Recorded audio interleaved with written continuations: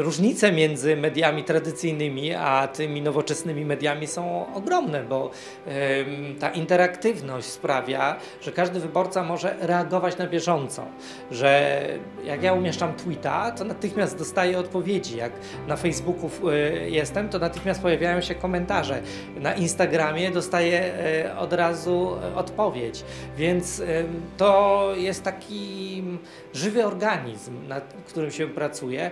To dla polityka to jest idealne. Tak jak mówię, bo można się wiele nauczyć, można się dowiedzieć, co interesuje też wyborców, co, gdzie są problemy e, i e, od razu wchodzić w dialog też z wyborcami. Tego w, poprzez prasę, poprzez tradycyjną telewizję czy e, radio niestety e, politycy nie mają i wyborcy nie mają, tracąc na tym i z jednej i z drugiej strony. Jeśli chodzi o wideo w internecie, to jeszcze nie używam, ale mam peryskop e, i próbuję nadawać czasami przez peryskop.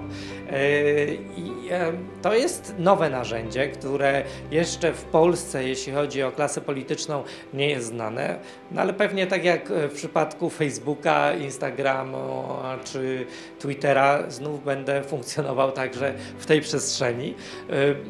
Każda przestrzeń, tak jak mówię, w której mogę wejść w interakcję z potencjalnymi wyborcami, jest dla mnie atrakcyjna. Jeśli chodzi o wideo, to myślę, że przede wszystkim może być jednym z narzędzi do komunikacji, bo polityk, który y, ucieka tylko i wyłącznie też w tę przestrzeń internetu, mediów, y, y, unika kontaktu bezpośredniego z wyborcami i nic nie zastąpi tego kontaktu, też na pewno dużo straci, ale polityk, który szuka każdej drogi, żeby dotrzeć do swoich wyborców, także poprzez wideo, e, myślę, że dużo na tym zyskuje. Więc e, to jest ciekawe, nowe narzędzie. Myślę, że atrakcyjne dla wielu e, wyborców.